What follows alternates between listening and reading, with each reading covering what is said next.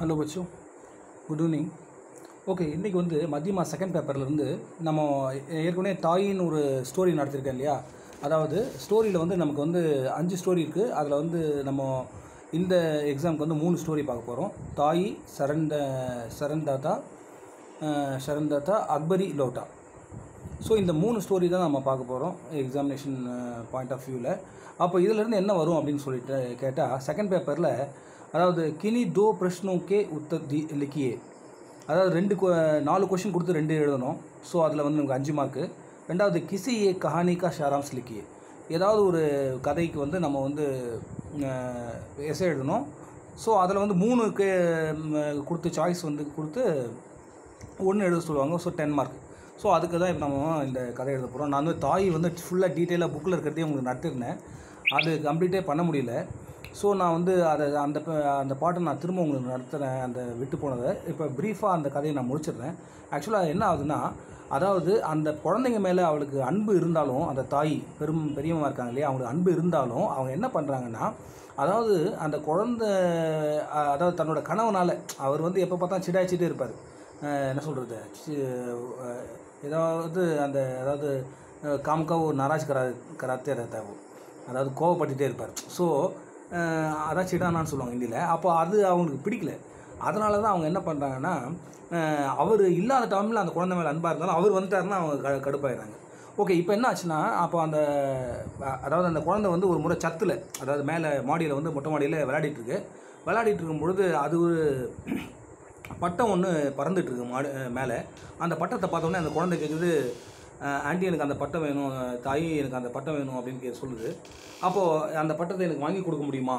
அப்படின்னு கேட்கும்பொழுது சரி இவன் வாங்கி கொடுக்குற அது ஃபஸ்ட்டு அவனை அவனை அரவணைப்பாக அவங்க அவனை அதாவது அவனை ஹக் பண்ணி அவனை கூட வைக்கிறாங்க. கூட உட்கார உட்கார வச்சு சரி வாங்கி கொடுக்கலான்ற மாதிரி அவங்ககிட்ட பிரியமாக பேசும்போது இவங்க இவங்க பெரியப்பா வந்துடுவார் தாவு வந்துடுவார் தாவு வந்துவிட்டே பார்த்தியா நீ அன்பாக இருக்க பாரு குழந்தைகிட்ட. நான் இல்லாத நேரத்தில் அன்பாக இருக்கிறேன். மற்ற நேரத்தில் இப்படி நடிக்கிறியானோடனே அவருக்கு ரொம்ப கோவம் திரும்ப கோவம் வந்துடுது திரும்ப கோவம் திரும்ப அந்த குழந்தைய தள்ளி தள்ளி விட்டுறான். அப்போது என்ன ஆகுதுன்னா நெக்ஸ்ட் டே இதே மாதிரி சுச்சுவேஷனில் திரும்பவும் ஈவினிங்கில் வந்து பட்டம் மாடியில் போய் அவங்க போய் வெடி- வேடிக்கை அப்போ அந்த தாய் இருப்பாங்க. அந்த மனோகர் இருப்பான். அவனை அதே மாதிரி அந்த டைம் நெக்ஸ்ட் டைமும் அந்த மாதிரி பட்டம் எனக்கு வேணும்ப்பா ஆண்டி அப்படின்னு கேட்கும்போது இந்த முறை என்ன சொல்லுவாள் கண்டுக்காத இருப்பாள் இல்லை நீ பட்டத்தை வாங்கி கொடுக்குறியா? எனக்கு இல்லை எனக்கு இல்லை அந்த அருந்து விழுகிற படத்தை எடுத்து கொடு பட்டத்தை எடுத்து கொடுக்குறியா? இல்லை நான் வந்து தா தாவு வந்தால் உன்னை பற்றி ரிப்போர்ட் பண்ணிட்டோமானோடனே இந்த மனுஷனால தானே எனக்கு இவ்வளோ ப்ராப்ளம் இப்போ சின்ன பசங்கள்லாம் வந்து என்னை வந்து சிதாய்க்குதுங்க அப்படின்னு சொல்லிட்டு அவங்களுக்கு ரொம்ப கோபமாயிரும் கோபமாயிரும் அப்போ வந்து அந்த பட்டம் ஒன்று அருந்து கீழே விழும். அது சைமல்டேனியஸாக என்ன ஆகுதுன்னா அந்த பட்டம் வந்து அப்படியே சத்துலேருந்து த அப்படியே ஆங்கனில் கீழே அந்த ம இது வா அதாவது கீழே தரையில் ஃப்ளோரில் போய் அது விழுந்துடுது ஸோ இந்த பையன் வந்து ஃப்ளோரில் விழுறதுக்கு முன்னே அந்த சத்தில் தொங்கிட்டு இருக்கோம்ல மாடியில். அப்போ அந்த எட்ஜில் இந்த பையன் அந்த ப- ப- ச- இது எடுக்க போகிறான். அந்த படத்தை எடுக்க போகும்பொழுது அவன் தவறி விழுந்துடுறான். ஸோ இவங்க பார்த்தாலும் அந்த நேரத்தில் இந்த எடுக்க அடி ஏற்கனவே அடிக்கடி சொல்லிட்டு இருக்காங்கல்ல நீங்களாம் இருக்கிறத விட சாவலாம். இந்த குழந்தைங்களாம் ஏன் எவ்வளோ பேர் சாவறாங்க? இதெல்லாம் சாக மாட்டேங்குங்களே அப்படின்ட்டு அவங்க அடிக்கடி சொல்லுவாங்க. அப்போ வந்து அவங்க பெரியப்பா கோவப்படுவார். குழந்தைங்க அந்த மாதிரி சொல்லக்கூடாதுன்னு. ஸோ அந்த மாதிரி சுச்சுவேஷனில் தான் என்ன பண்ணுறாங்கன்னா இந்த அதாவது கொஞ்சம் அந்த பையனை பிடிக்கிறதுக்கு கொஞ்சம் டேரி பண்ணிடுறாங்க. கொஞ்சம் லேட் பண்ணிடுறாங்க. டிலே பண்ண உடனே அவன் விழுந்துடுறான் கீழே உடனே நம்ம உடனே ஆன்னு கத்தி அவங்களும் மயக்கடிச்சு விழுந்துடுறாங்க. ஒரு ஒன் வீக் ஹாஸ்பிட்டலைஸ் ஆகிடுறாங்க ஸோ அவங்க திரும்ப அந்த அன்கான்ஷியஸ்னஸ்லேருந்து ரெக்கவர் ஆகும்பொழுது எல்லாரும் ஹாஸ்பிட்டலில் பார்க்குறாங்க அந்த பையனுக்கும் மூட்டு நழுவிடுது. அது வந்து சின்ன குழந்தை இல்லையா? டக்குன்னு ஒரு அதை சின்ன பையன்றதால சீக்கிரமாக அவனுக்கு மூட்டு அதை தள்ளி கட்டின உடனே கட்டு போட்ட உடனே அது ஓரளவுக்கு அவன் க்யூர் ஆகி நல்லா வர நல்லா ஆயிடுறான். இந்த அம்மாவுக்கு நினைவு வரும்போது நினைவு வரதுக்கு முன்னே இந்த அம்மா ரொம்ப பெணாத்துறாங்க. ஐயோ நான் வந்து உன்னை ரொம்ப தப்பு பண்ணிட்டேனேப்பா. உன்னை நான் காப்பாற்றிருக்கலாம் உன்னை நான் நான் யோசித்து விட்டுட்டேனே. உன்னை நான் காப்பாற்றிருக்கலாமே அப்படின்ட்டு அந்த பையன் மேலே இருக்கிற உண்மையான அன்பு வந்து வெளிப்படும். அப்போ அவங்க பெணாத்தும் பொழுது பக்கத்தில் எல்லாம் இருக்கும்போது அவங்க கேட்குறாங்க ஸோ அவன் எழுந்த உடனே எல்லார்கிட்டையும் மன்னிப்பு கேட்குறா அப்போ அந்த தாய் மேலே தாய் எல்லாம் மன்னிச்சிடுறாங்க. ஏன்னா அதாவது குழந்தை மேலே உண்மையாக அன்பு இருக்குது ஸோ அந்த தனக்கு குழந்தை இல்லையேன்னு சொல்லிட்டு அந்த ஒரு ஏக்கம் தான் இந்த மாதிரி அவங்களுக்கு ஒரு கோபமாக ஆகுது. இது மாதிரி கதை முடியும். ஸோ அந்த ஸ்டோரியை வந்து நான் டீட்டெயிலாக இன்னொரு அந்த ரிமைனிங் ஸ்டோரி நான் நடத்துகிறேன் பட் அதே மாதிரி இப்போ நம்ம ஷரண் தாத்தான்ற ஸ்டோரியும் அக்பரி லவுட்டான்ற ஸ்டோரியும் பார்க்கணும். இப்போ அதுவும் பத்து பத்து பேஜ்னும் போது நமக்கு கவர் பண்ணவே முடியாது போல இருக்குது ஒரு ஸ்டோரியை நான் வந்து டீட்டெயிலாக நான் நடத்தும்போது பார்த்தீங்கன்னா உங்களுக்கு வந்து ஒரு அன்றைக்கி பாரு ஃபார்ட்டி மினிட்ஸ் கூட நடத்தி கூட அதை கம்ப்ளீட் பண்ண முடியல. ஸோ இப்போ நான் என்ன பண்ணுறேன்னா உங்களுக்கு அந்த சாராம்சம் இருக்கு இல்லையா? அதாவது சரண்தாத்தா அப்படின்ற அந்த இது ரெஃப்யூஜி அந்த ஸ்டோரியோட சாராம்ஸ். அதை நான் பத்து மார்க்குக்கு எழுதணும். அதுக்கடுத்து அக்பரி லோட்டா. அக்பரி லோட்டான்னா அக்பரோட அந்த டம்ளர்னு அர்த்தம். டம்ளர்னா என்ன சொல்கிறது அதாவது லோட்டா கிளாஸ் அந்த அக்பரோட அந்த கிளாஸ் யூஸ் பண்ண கிளாஸ் ஸோ அந்த அது லெசன் தான் இப்போ வந்து நமக்கு கம்பல்சரி படிக்கணும். ஸோ ஏதாச்சும் ஒன்று இப்போ நீங்கள் வந்து சரண் தாத்தா ஒரு சம்மரி மட்டும் மனப்பாடம் பண்ணுங்கள் குழந்தைங்களையும் நீங்கள் வந்து பக்கப் பண்ண தான் வேணும் அதை. அண்டர்ஸ்டாண்ட் பண்ணி நீங்கள் வந்து எலாபரேட் எலாபரேட் எலாபரேட் பண்ணி எழுத முடியாது உங்களால். இப்போ ஓன் வேர்ட்ஸில் கூட நீங்கள் வந்து ஹிந்தி கொஞ்சம் கொஞ்சமாக பரிச்சயமானவங்களுக்கு வந்து இது சும்மா இதை படி பார்த்து எழுதுவாங்க. பட் நீங்கள் வந்து ஃபுல்லாக பைஹார்ட் பண்ணி எழுதுறதால மக்கப் பண்ணி எழுதுறதால இந்த சரண் தாத்தா ஒன்றை மட்டும் மனப்பாடம் பண்ணால் போதும். அக்பரி லோட்டா சரண் தாத்தாவில் ஏதோ சாய்ஸில் வந்து மூணு கொடுத்து ஒன்று எழுதணும் போது நம்ம கம்பல்சரி சரண் தாத்தா ஒன்று மட்டும் நீங்கள் படிச்சீங்கன்னா கூட நீ எக்ஸாம் வந்து நல்லபடியாக எழுதிடலாம். ஓகே இப்போ சரண் தாத்தான்ற கதையை நான் உங்களுக்கு சொல்கிறேன் அதாவது இந்த ஸ்டோரி இந்த ஸ்டோரியோட சம்மரி எப்படி எழுதணும்? எப்பவுமே சம்மரி எழுதும்போது நீங்கள் சப்டைட்டில் போட்டு சின்ன சின்னதாக அதை டெக்கரேட் பண்ணி நல்லபடியாக ப்ரெசன்டேஷன் பண்ணணும். ப்ரெசன்டேட் நல்ல ப்ரெசன்டேஷன் நல்ல குட் ஹேண்ட் ரைட்டிங் போது நல்ல மார்க் கிடைக்கும். ஓகே சரண் தாத்தா அதாவது ரெஃப்யூஜி அதாவது நம்மளை அடைக்கலமாக தேடி வரவங்க தேடி வரவங்கள நம்ம சரண் தாத்தான்னு சொல்கிறோம் அப்போது சரண் தாத்தாக்கே கஹானிக்கார் இந்த கதையோட கஹானிக்கார் யாருன்னா அவர் வந்து சச்சிதானந்த் ஹீரானந்த் வாத்சாயன் அக்னி. இப்போ ஒரு நாலு பேர் இவர் ஒருத்தரே வச்சிருக்காரு வச்சிட்ருக்காரு. சச்சிதானந்த் ஹீரானந்த் வாத்சாயன் அக்னேய் அக்னேன்றது அவரோட பட்டம். இப்போ நமக்கு இங்கெல்லாம் வந்து குத்தூசி குண்டூசின்லாம் பேர் வச்சுருக்காங்களா அந்த மாதிரி. அக்னேய் அப்படின்றது அவரோட பட்டம். சச்சிதானந்த் ஹீரானந்த் வாத்சாயன் அப்படின்றது அவரோட நேம் ஸோ சரண் தாத்தா கா கஹா அதாவது கதானக் வந்து ஹிந்து முஸ்லீம் தங்கோம் பர் ஆதாரித் ஹை. இப்போது ஆக்சுவலாக இந்த க இந்த க இந்த பேஸ் எதை பற்றி பேஸ் பண்ண இந்த ரெஃப்யூஜி கதைன்னு பார்த்தீங்கன்னா ஹிந்து முஸ்லீம் தங்கா. அதாவது ஹிந்து முஸ்லீமோட இது நிறைய கலவரங்கள் நடந்தது. அப்போ அந்த கலவ கலவரம் நடந்தப்போ அதை பற்றி பேஸ் பண்ணி தான் இதை வந்து எழுதியிருக்காங்க. அதாவது நம்ம ஃப்ரீடம் கிடைச்சப்போ இந்தியா பாகிஸ்தான் டிவைட் ஆகும்பொழுது நிறைய ஹிந்து முஸ்லீம் கலவரம் நடந்தது நிறைய. ரியோட்ஸ்னு சொல்லுவாங்க. தங்கா அப்படின்வாங்க ஸோ அந்த ரியோட்ஸ் அப்போது அதை பேஸ் பண்ணி தான் இந்த ஆதாரித் அப்படின்னா பேஸ் பண்ணி இந்த கதை. அப்போ ஹிந்து முஸ்லீம்க்கு தங்கு. அதாவது அந்த ரியோட் அந்த கலவரம். அதுதான் சின்ன டைட்டில் கொடுத்துருங்க. அதுக்கப்புறம் அது கீழே ஒரு பேராகிராஃப் எழுதுங்க. அதாவது ஷஹரே பர்மே ஹிந்து முஸ்லீம் கா தங்கும் தங்கு ஜோர் பர்த்தா. ஷஹரே பர் நாடு முழுக்க அதாவது சிட்டி அப்படின்னு அர்த்தம். பட் இந்த இடத்துல வந்து ஷஹர் பர் அப்படின்னா நாட்டு முழுக்க. ஹிந்து முஸ்லீம்கா தங்கு ஜோர் பர்த்தா. அவங்க கலவரம் வந்து ரியோட் வந்து ரொம்ப சூடு பிடிச்சி ரொம்ப ஹை பீக்கில் போயிட்டுருக்கு. அப்போ ஏக் தூசரேக்கு நிர்தயத்தா சே மார்னே காட்டினேமே லகை வைத்து ஒருத்தர் இன்னொருத்தரை வந்து நிர்தயத்தா. அதாவது கொஞ்சம் கூட இறக்கம் இல்லாமல் மார்னே பீட்னா அப்படின்னா நான் அடித்து போட் வெட்டுறது. காட்டினா பீட்னான்னா வெட்டுறது. மாறினா அப்படின்னா உதைக்கிறது. எல்லோரும் ஒருத்தர் ஒருத்தர் அடித்து கொள்கிறாங்க இல்லை கா காட்டினையுமே லகே ஹுயத்து. அப்போது ரஃபீக்குதீன் அப்படின்றது. அப் அப்படின்ற ஒரு முஸ்லீம் இருக்கார். அவர் பேர் வந்து ரஃபீக்குதீன். அவர் என்ன பண்ணுறாருன்னா ஓ தயாலுதா அவர் வந்து தயாலுன்னா யார்? ரொம்ப மெர்சிஃபுல் ஒரு இரக்கமுடைய ஒரு மனை மனிதன். வக்கு अपने दोस्त தேவேந்திரலால் கோ பச்சானா சாத்தா தா அப்போ அந்த ரியோட்டில் மா அந்த ரியோட்னா கலவரம் நான் ரியோட் ரியோட் சொல்லிட்டு இருப்பேன் நீங்கள் கன்ஃபியூஸ் ஆகிடாதீங்க அது அந்த ரியோட்டில் வந்து மாட்டின இந்த தேவேந்திர லால் அப்படின்ற ஹிந்து வந்து அவரோட ஃப்ரெண்டு அப்போ உஸ்கு பச்சானா சாத்தா தா அவரை நம்ம வந்து கா பாதுகாக்கணும் அப்படின்னு அவர் நினைக்கிறாரு பர் முஸ்லமான் லோகோங்கோ பத்தா சலே தோ ஓ மார் டால்தே ஆனால் முஸ்லீம்ஸ் அந்த இது இருக்கு இல்லையா அந்த ஜுண்டு அந்த கும்பல் அதுக்கு வந்து அது தெரிஞ்சிருச்சுன்னா இந்த மாதிரி தேவேந்திரலால் வந்து இவர் காப்பாற்றுறாரு அப்படின்னு தெரிஞ்சதுன்னா அவரை கொண்டுடுவாங்க மார் டால்தே அப்படின்னா கொல்றது கொண்டுடுவாங்க அத்தக வகு அப்னே தோஸ்து அதாவது ஷேக் கே யஹா சிப்பா ரக்தே ரக்தே. அப்போ என்ன பண்ணுறாருன்னா இந்த ரஃபுக்கிது ரஃபீக்குதீன் என்ன பண்ணுறேன்னா தேவேந்திரால லால தன்னோட தோஸ்து ஃப்ரெண்டு வந்து அவர் பேர் வந்து ஷேக். ஷேக்கோட வீட்டில் வந்து சிப்பா ரக்கெட்டு சிப்பானா அப்படின்னா மறைச்சி வைக்கிறார். தன்னோட ஃப்ரெண்டை அந்த வீட்டில் மறைச்சி வைக்கிறார். அப்போ செகண்ட் பேராகிராஃப் பாருங்கள் தேவேந்திரக்கா ஜீவன். அப்போ தேவேந்திரனோட வாழ்க்கை அப்படின்றது செகண்ட் ஒரு சின்ன ஷார்ட் டைட்டில் அப்போது தேவேந்திர கோ ஏக் பந்த் கமரே மே ஹி ரெஹனா படம் தேவேந்திரக்கு வந்து ஒரு க்ளோஸ்டு uh, அந்த ரூமில் பந்து கமரான்னா என்னது? மூடிய ஒரு அறை. அந்த ரூமில் இருக்க வே- இருக்க வேண்டியதாக போயிடுச்சு. வஹா ஏக் பிலாவ் ஆயா ஆயா கர்த்தா தான் அங்கே வந்து ஒரு பூனை வந்துகிட்டே இருக்கும். அப்போ பில்லி அப்படின்னா என்னது? பில்லி அப்படின்னா பூனை கேட்டு. அப்போ பிலாவுன்றதும் பூனை தான். அதாவது ஆண் பெண் இல்லையா? பில்லினா பெண் பிலா அப்படின்னா ஆண்.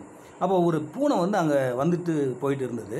அப்போ தேவேந்திர கானே கே பாது பச்சே கானேக்கோ பிலாவுக்கோ கிலாத்தா தான் அது அப்போ தேவேந்திரக்கு இவங்க சாப்பாடு அனுப்புவாங்க ஃப்ரெண்ட்ஸுங்க ரூஃபிக்கு இதுன்னு அனுப்புவார். அதை வந்து சாப்பிட்டுட்டு மீதமானதை அந்த பூனைக்கு வழக்கமாக போடுவார்.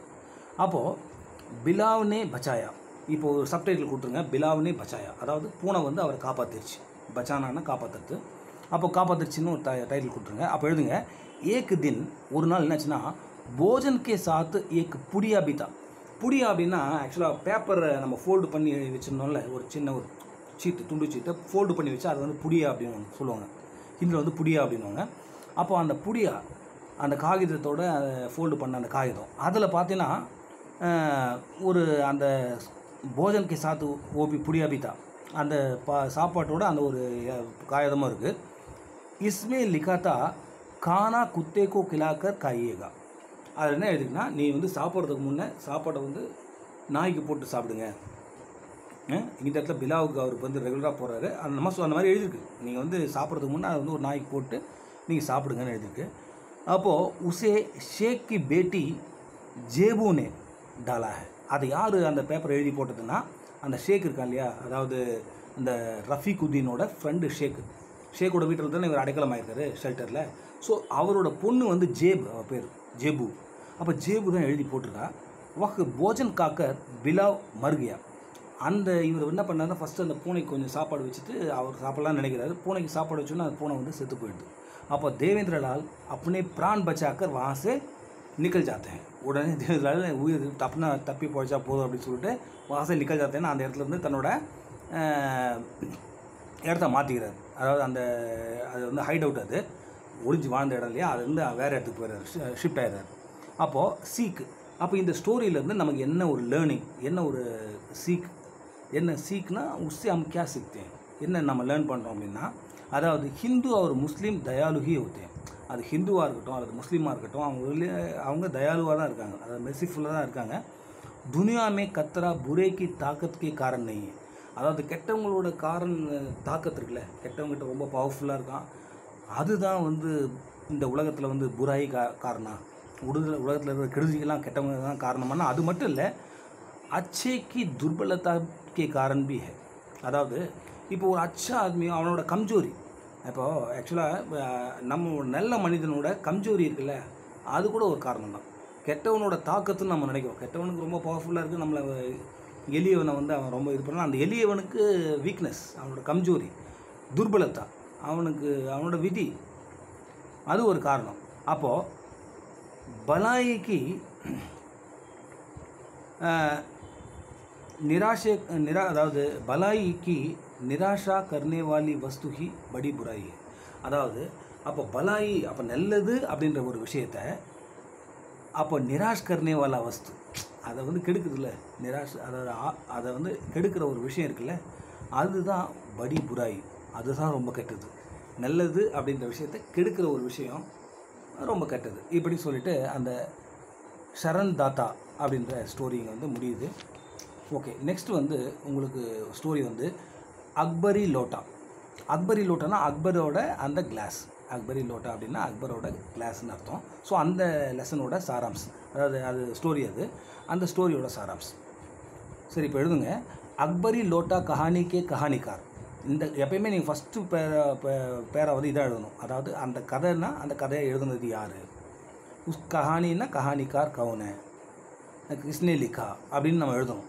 அப்போ கஹானி கே கஹானிக்கார் அந்த கஹானிக்கார் அதாவது லேखक அந்த ரைட்டர் யாருன்னா ஸ்ரீ அன்னபூர்ணானந்த் வர்மா.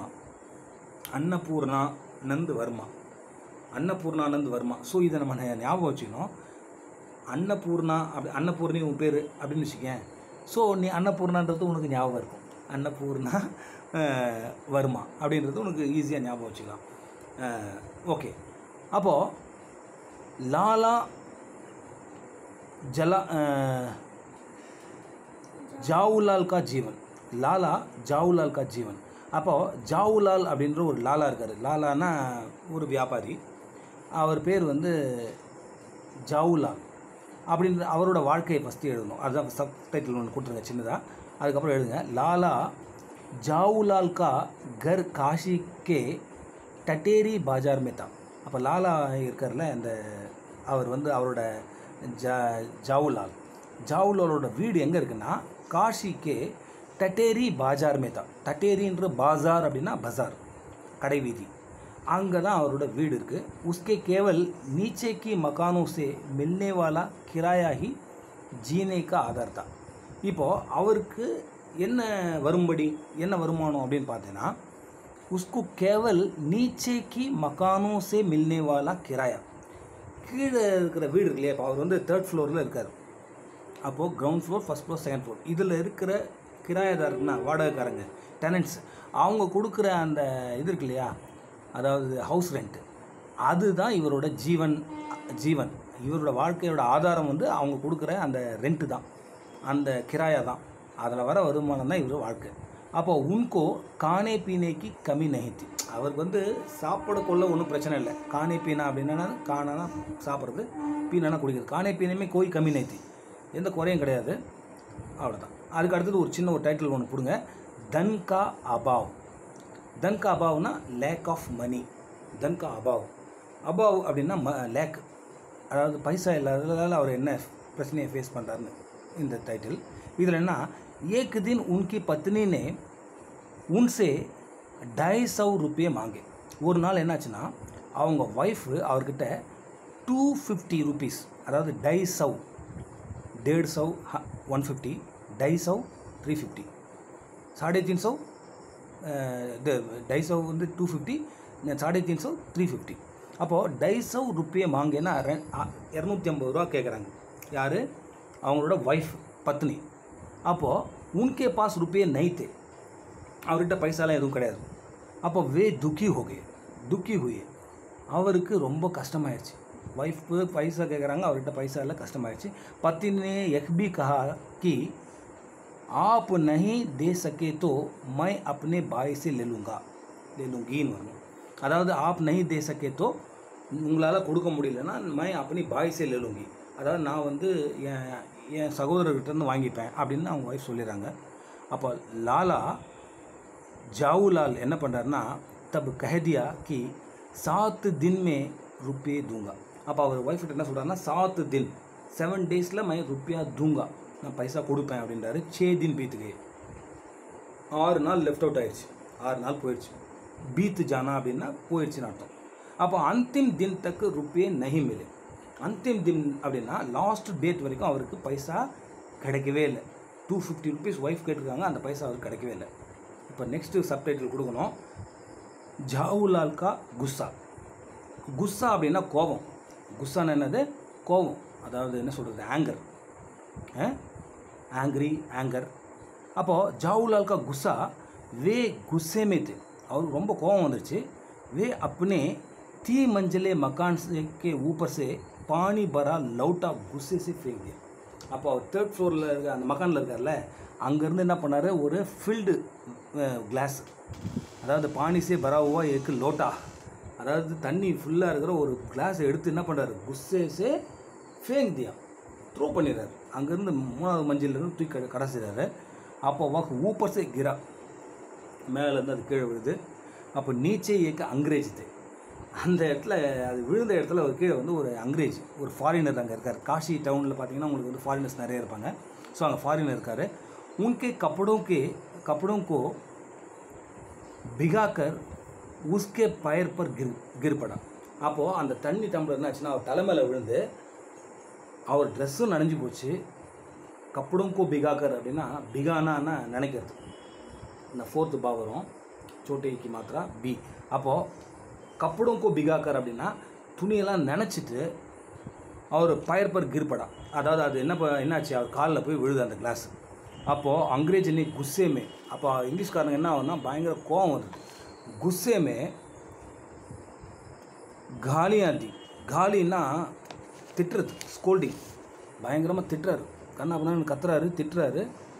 அவர் வாக போலீஸ் ஸ்டேஷன் ஜானி தயார் தான் உடனே போலீஸ்கிட்ட போய் நான் ரிப்போர்ட் பண்ண போகிறேன் அப்படின்னு சொல்லிட்டு போலீஸ் ஸ்டேஷன் போகிறதுக்கு ரெடி ஆகிட்டார் அப்போ அக்பரி லோட்டா அப்படின்ற தலைப்பு கொடுங்க சப்டைட்டில் கொடுங்க. அக்பரி லோட்டா. அப்போ அக்பரோட கிளாஸ் இப்போ என்ன ஆகுதுன்னா அங்கிரேஜுக்கோ புராணி சீஜே லேனேக்கா ஷோக் தான் அப்போ அந்த அங்கிரேஜ் இருக்கார் இல்லையம்மா? அந்த இங்கிலீஷ்காரர். அங்கிரேஜ்னால் வேறு ஒன்றும் இல்லை இங்கிலீஷ்காரர் ஃபாரினர் அவருக்கு என்ன ஷோக்கின் அப்படின்னு பார்த்தீங்கன்னா அவருக்கு என்ன ஹேபி அதாவது என்ன சொல்கிறது ஹேபிட் அவருக்கு என்ன வந்து ஒரு ஹாபி அவருக்கு ஷோக்கின்னு சொல்லுவாங்கல்ல ஹாபி இப்போ ஸ்டாம்ப் கலெக்ஷன் காயின் கலெக்ஷன்ற மாதிரி அவருக்கு ஒரு ஹேபிட் ஷோக்கின் இருக்குது இன்ட்ரெஸ்ட் இருக்குது என்னென்னா அது வந்து புராணி சீஜும் இல்லைனா ஏன் அதாவது ஒரு ஏன்ஷியன்ட் ஐ ஐட்டம்ஸ்லாம் இருக்குல்ல ரொம்ப ஓல்டு ஏன்ஷியன்ட் ஐட்டம்லாம் அது கலெக்ட் பண்ணுவார் அவர் புராணி சீஜே அப்படின்னா ஓல்டு ஐட்டம் வந்து அவர் கலெக்ட் பண்ணுறது அவரோட ஹாபி அப்போ என்ன பண்ணுறாருன்னா अंग्रेजी की चीख सुनकर वहाँ बड़ी जो है भीड़ इकट्ठी हो गई அவர் கத்துனார் இல்லை கிளாஸ் பட்டவுடனே அவர் கத்துனார்ல அந்த கத்துன கத்தல அந்த சீக் அப்படின்னா கத்துறது அப்போது சுன்கர் வகாம் படி பீடு இக்கட்டி ஓகி நிறைய பெரிய க்ரௌட் அங்கேருந்து என்ன ஆயிடுச்சு எல்லாம் கான்சன்ட்ரேட் ஆகிடும் இக்கட்டாக ஓனா அப்படின்னா எல்லாம் ஒன்று வந்து சேர்ந்துடுறாங்க. சேர்ந்த உடனே தப்பு வகா பண்டித்து பில்வாசி மிஸ்ரா பில்வாசி மிஸ்ரா ஆயே. அப்போது இவ்வளோ கூட்டம் சேர்ந்த உடனே டக்குன்னு அந்த இடத்துல ஒரு பண்டித்து பில்வாசி மிஸ்ரா அப்படின்றவர் வராரு. உன்னோனே அங்கிரேஜே கஹா கி எக் லோட்டா அக்பரி லோட்டா ஹே. இந்த லோட்டா வந்து சாதாரண கிளாஸ் கிடையாது. இந்த விழுந்தது இந்த கிளாஸ் உங்கள் தலைமையில் அது சாதா கிளாஸ் கிடையாது. அது அக்பரோட கிளாஸ் அக்பருக்கு ஜமானே கதா. அதாவது அந்த டைம் அக்பரோட ஜமானா இருக்குல்ல அந்த ஏன்ஷியன் டைம் அந்த டைமோட கிளாஸ் அது. அப்போ ஹுமாயூன்னே இசி லோட்டேஸே பானி பீக்கர் பியாஸ் பிஜாயி. அப்போது ஹுமாயூன் இருக்கார்ல அக்பரோட மகன் இல்லையா ஹுமாயூன். அப்போது ஹுமாயூன் என்ன பண்ணனா இதில் தான் என்ன பண்ணுவார்? தண்ணி குடிப்பார். ஹுமாயூன்னே இசி லவுட்டேஸே பானி பீக்க பியாஸ் புஜாய் அப்படின்னா தன் தாகத்தை தேர்ஸ்டி பியாஸ்னா தேர்ஸ்டி புஜானானா அதை வந்து க இது பண்ணுறது குறைக்கிறது.